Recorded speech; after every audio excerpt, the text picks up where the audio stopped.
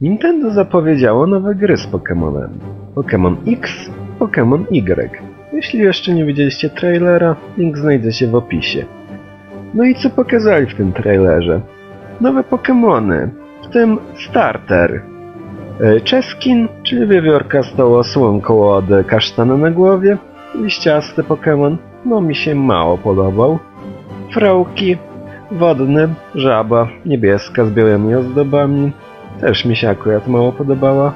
I Fennekin, lisek ognisty. No, on mi się akurat bardzo podobał, a że lubię też ogniste Pokémony, to na pewno bym go wybrał. Oprócz tego pokazali też Pokémony legendarne. E, niebieskiego jelenia do wersji X, który mi się naprawdę nie podobał z uwagi na to, iż zamiast nóg miał ostrza. Czarne niczym jakby były, nie wiem, z obsydianu. Dziwnie to wyglądało. I oprócz tego latające dziwadło do Pokémon X, które mi się bardzo podobało z uwagi na całkiem spore podobieństwo do Blazykena, a naprawdę lubię tego Pokémona.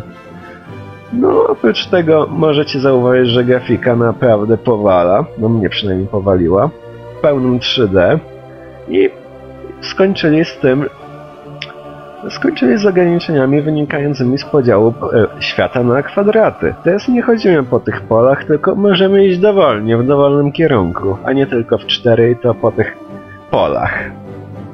No, akurat mi się to mało podoba, ponieważ lubiłem tą nutkę old schoolu w tych grach. Przypominały bardzo stare czasy RPG, jeszcze pierwszego finala. No, to było fajne. To tyle, co mam wam do powiedzenia. Podzielcie się swoimi zdaniami w komentarzach, albo nagrajcie odpowiedź wideo, jak tam wolicie. I do zobaczenia następnym razem. Cześć!